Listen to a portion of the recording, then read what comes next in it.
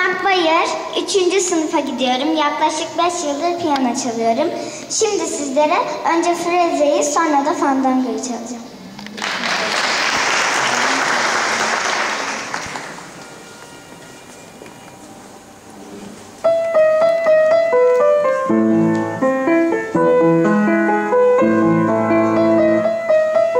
Thank